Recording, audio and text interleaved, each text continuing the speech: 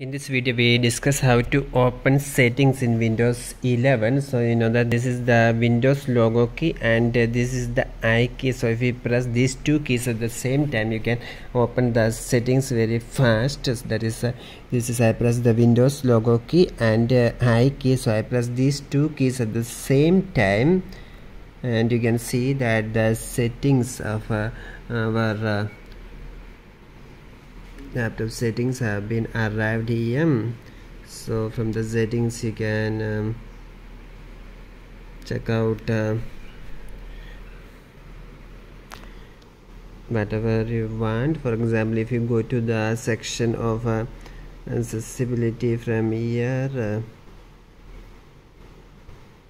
click the accessibility. And if you want to go back uh, then you can uh, do all the key keyboard shortcut. This is the backspace button and if you press this backspace button then it will move back to the previous page.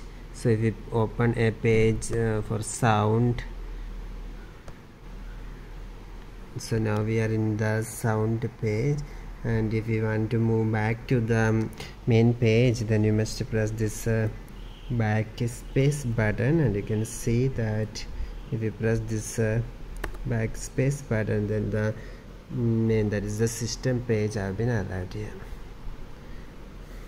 And we know that the this is uh, the start menu is located at the center in windows 11 and suppose if you want to open the setting from the start menu then you can simply click this uh, start menu and uh, if you click this uh, start menu then you can um, have the option of uh, setting here um, must click this one and um, take out the setting without using the shortcut.